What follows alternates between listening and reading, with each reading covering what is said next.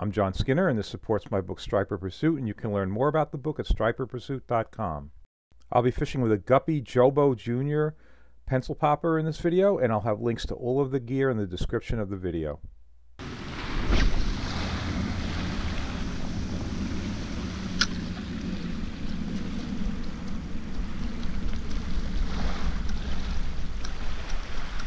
Wow!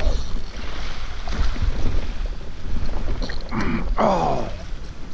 Oh! Oh! What the?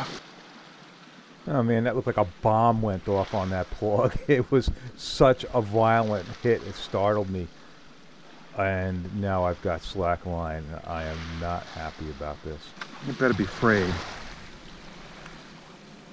And indeed, it was frayed. That was just a jumbo bluefish. There hadn't been any bluefish around, so uh, that one surprised me in numerous ways. But all right, better than seeing you know some stupid gear failure. Bluefish cut it off. It happens.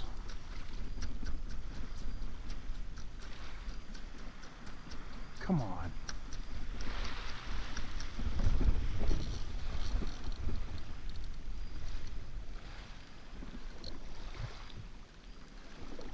Okay, that fish followed that plug for quite some distance. Um, and uh, all right, so the, overcast skies are courtesy of the remnants of what was Hurricane Florence, and, and clearly we're not experiencing any heavy wind or rain here. I mean, we're going to get some rain out of this for sure, but um, what I do have right now is a falling barometer, falling pretty rapidly, and um, the fishing hasn't been great, but you know what? Uh, this is picking up a little bit here. This is okay. I'm hooking up a couple of fish, uh, and it's going to get better.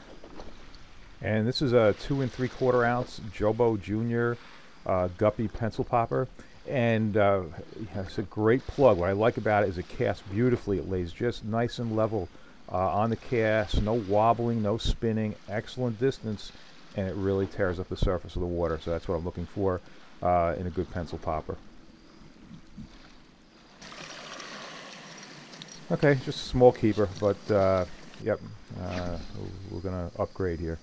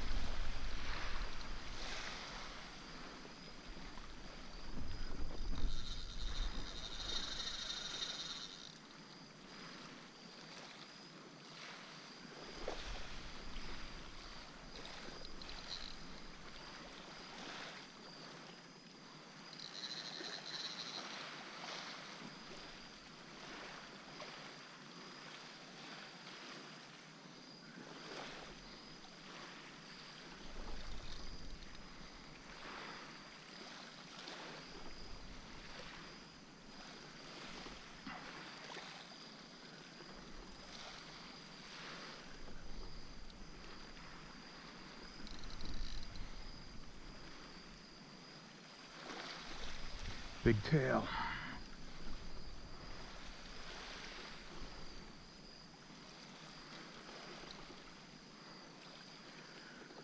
So I think I'm in the clear with rocks. Water temperature is probably 70, 72. It's a big fish.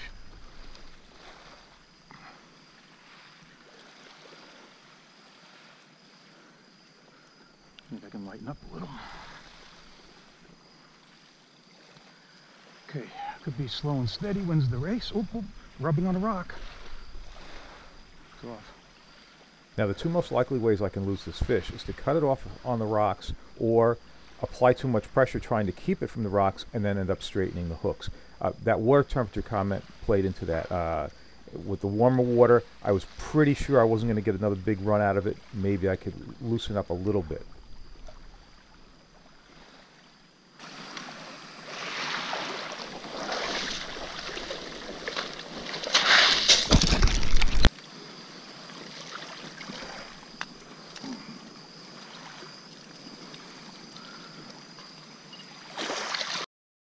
Or I did put it on a boga and it was uh, just slightly over 30 pounds.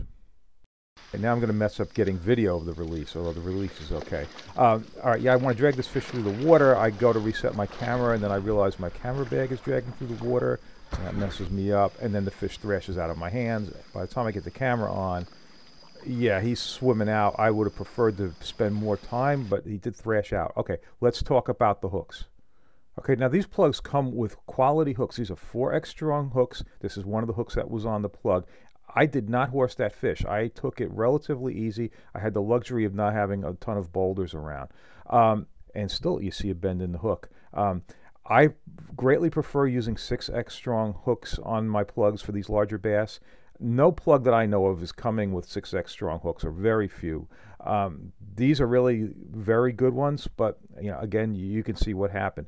A, a, lot of people will think about going to singles. Yeah, the singles aren't any better. That's a 4X strong single, quality hook, straightened on a large bluefish. Um, now, 6X strong hooks aren't even that easy to find. I ended up ordering them online. I think they cost me about 80 cents a piece, but uh, it's peace of mind when you've got a quality fish on that something like this isn't going to happen. Okay, if you enjoy these videos, please hit that subscribe button.